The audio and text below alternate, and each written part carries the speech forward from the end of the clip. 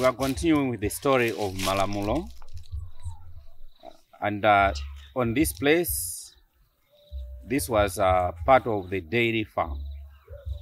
So they were dairy heads around here.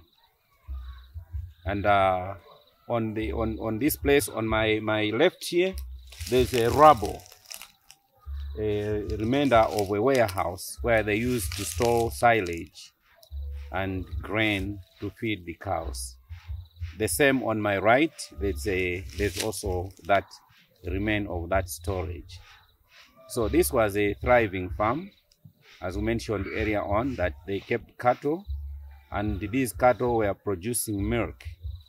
Uh, the milk was sold in Blantyre.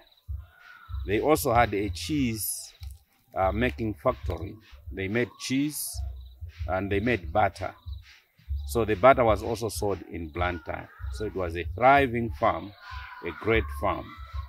And uh, we should not forget that this was made to be an industrial, uh, industrial mission. The, the proceeds of the money was supposed to be plowed back into the community to help people live a better life. So we are at a place where they used to store grain and the remnants of that uh, grain storage is the rubble on my left and on my right. Thank you.